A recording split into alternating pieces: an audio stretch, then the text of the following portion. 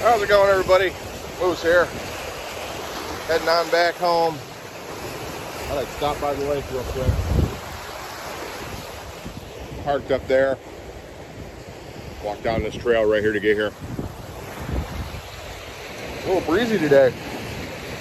Got some good choppy waves. My favorite part's this. Life-saving equipment. For emergency use only. Life station equipment donated by Kylus Club of St. Ignace.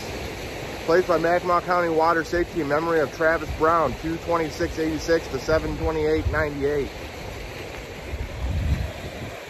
I mean, it's nice, you know, in memory of, but there's no life-saving equipment. I mean, what you gotta do, throw them a rock?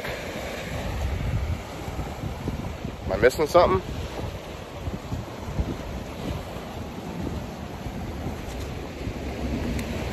Oh, yeah, it's an awesome trip.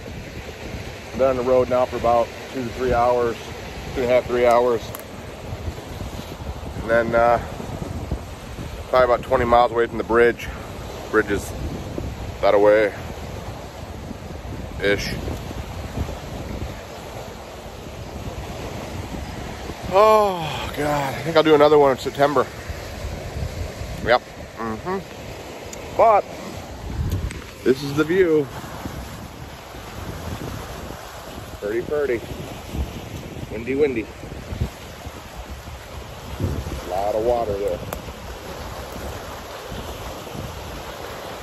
I guess the wood would float.